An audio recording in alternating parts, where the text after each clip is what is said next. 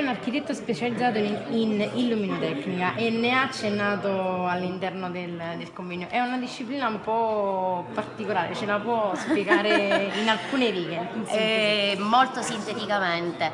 E, ehm, la luce, che è anche un materiale artistico, perché si parla sempre sì. di luce nell'arte, è anche un materiale progettuale, cioè quando si fa il progetto di un museo o dell'allestimento di un'area archeologica, ma anche di un ufficio, di un negozio, la luce non è semplicemente ciò che ci permette di vederlo, ma anche ciò che crea l'atmosfera in quell'ambiente.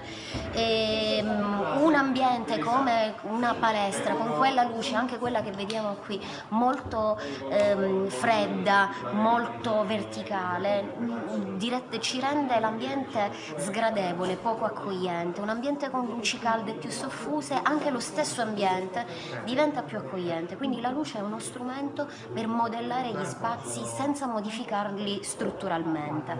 Lei, l'hanno ricordato nel corso del convegno, è vincitrice del premio Silvia dell'Orso e del premio Chimera d'Argento, che sono due premi abbastanza importanti nel suo campo che le riconoscono il lavoro nel campo artistico.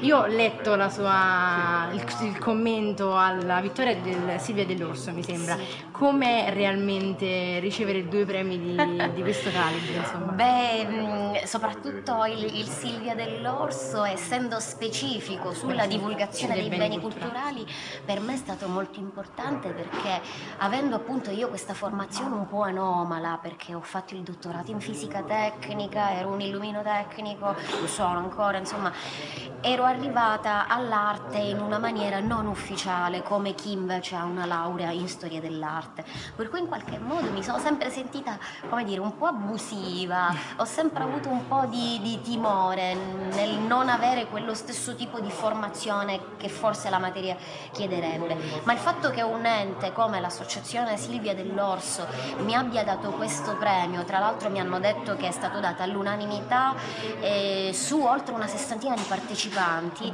per me è stata una legittimazione importante perché ho capito che quello che facevo non erano fantasie estemporanee ma aveva una solidità e, e un, dire, una correttezza una scientificità.